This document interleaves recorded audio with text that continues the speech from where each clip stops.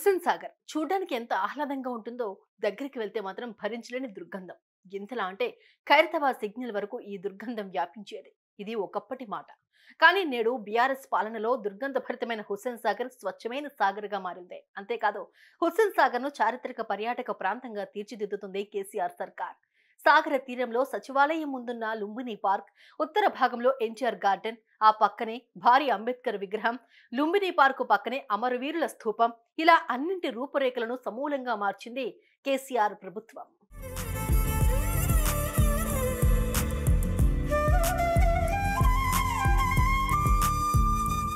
ఒకప్పుడు మురికి కూపంగా దుర్గంధభరితంగా హైదరాబాద్లోని హుస్సేన్ సాగర్కు పేరు. ఉమ్మడి రాష్ట్రంలో అయితే అడ్డగోలు కబ్జాలు కంపు కొట్టే దుర్గంధం హైదరాబాద్ సిగ్నల్ వరకు వ్యాపించేది. ప్రస్తుతం హైదరాబాద్ నడిబొడ్డున ఉన్న హుస్సేన్ సాగర్ ప్రాంతం పూర్తిగా మారిపోయింది. రాజమందిరం లాంటి రాష్ట్ర సచివాలయం నూట ఇరవై ఐదు అడుగుల ఎత్తైన అంబేద్కర్ విగ్రహం నీరా కేఫ్ ప్రారంభం అమరవీరుల స్మారక చిహ్నం తదితర వాటితో హుస్సేన్ సాగర్ కొత్త రూపు సంతరించుకుంది. బీఆర్ఎస్ సర్కార్ దశలవారీ అమలు చేస్తున్న ప్రణాళికాబద్ధమైన అభివృద్ధితో హుస్సేన్ సాగర్ రూపురేఖలు మారిపోయాయంటున్నారు నగరవాసులు.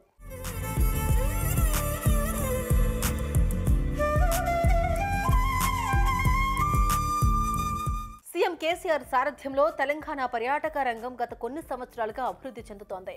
గడిచిన మూడేళ్ళుగా తెలంగాణ పర్యాటక రంగానికి బీఆర్ఎస్ ప్రభుత్వం వందల కోట్లను వెచ్చిస్తోంది. హైదరాబాద్లోని చార్మినార్ నుంచి హుసేన్ సాగర్ వరకు వివిధ పర్యాటక ప్రాంతాలు చూసేందుకు నగరానికి ప్రతి సంవత్సరం భారీ సంఖ్యలో పర్యాటకులు వస్తున్నారు. ముఖ్యంగా హుస్సేన్ సాగర్ కేవలం చారిత్రక జలాశయం మాత్రమే కాదు ఆధునిక పర్యాటక కేంద్రంగా బీఆర్ఎస్ సర్కార్ అద్భుతమైన డిజైన్లతో తీర్చిదిద్దుతోంది. హుస్సేన్ సాగర్లో క్రూయిజ్ బోట్ సేవలను అందుబాటులో ఉన్నాయి. ఇటీవలే ఆర్యతార క్రూయిజ్ పేరుతో కొత్తగా ఒక బోటును పర్యాటకులకు అందుబాటులోకి తెచ్చారు. సాగర జలాల్లో బోటు షికారు ఆహ్లాదభరితంగా ఉండేందుకు ప్రత్యేకంగా టూరిజం శాఖ ఏర్పాట్లు చేసింది.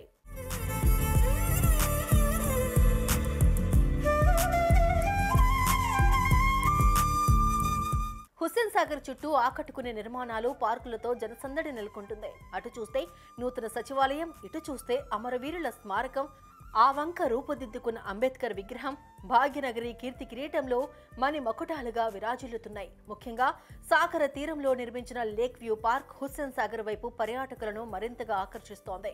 లేక్ అందాలన్నీ కనబడే విధంగా లొకేషన్ తీరం సాగర ఒడ్డున కూర్చుని సేద తీరేలా అభురపరిచే ప్రవేశ ద్వారం పాత్వేలు పిల్లల కోసం ప్లేగ్రౌండ్ అందాలన్నీ ఆస్వాదించేలా underpass water theme park Sagar అలలపై నిల్చున్నట్లుగా glass deck floor scrape elevated walkway with underpasses pedestrian trails మూడు మీటర్ల వెడల్పుతో way walk innovative children's play area ఇలా ఎన్నో ప్రత్యేకతలతో పర్యాటకులను కనువిందు చేస్తోంది.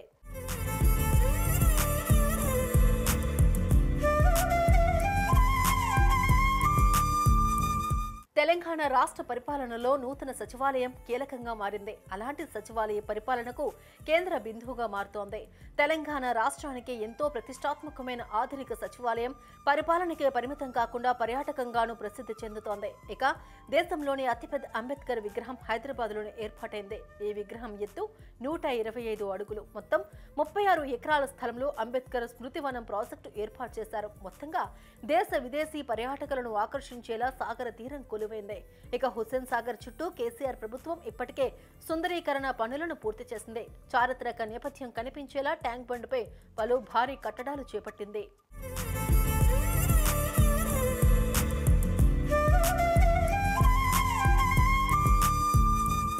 తెలంగాణ వస్తే హైదరాబాద్ ఆగమవుతుందని భయభ్రాంతులకు గురిచేసి హైదరాబాద్ ఆత్మ గౌరవాన్ని కించపరిచిన వారి చెంప చెళ్ళు మనిపించే చర్యగా తెలంగాణ పర్యాటక రంగం అభివృద్ధి చేసి చూపించారు సీఎం కేసీఆర్.